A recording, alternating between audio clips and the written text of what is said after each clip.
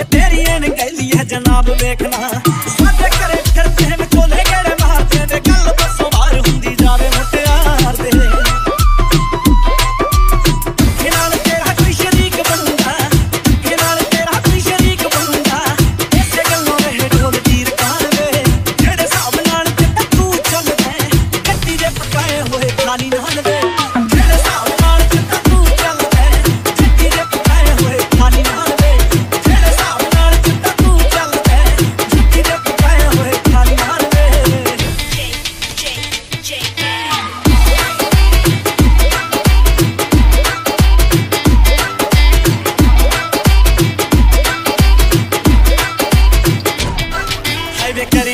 घर मेरी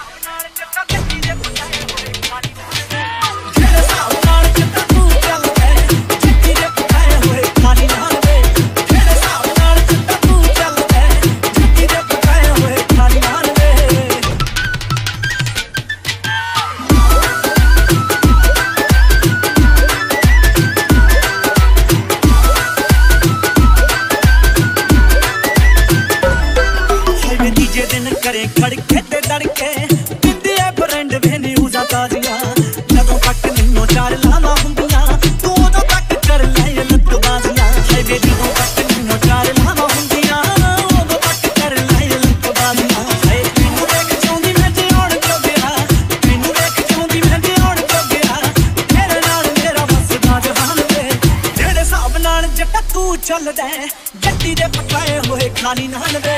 ਜਿਹੜਾ ਸਾਹ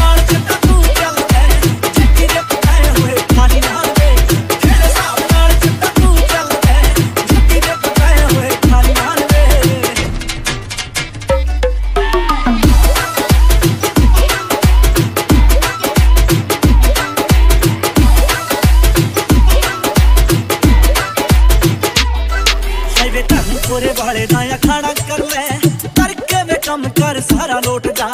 ਮੈਂ ਵੀ ਤੇ ਲਹਿੰਗਿਆਂ ਦੇ ਨਾਪ ਮੇ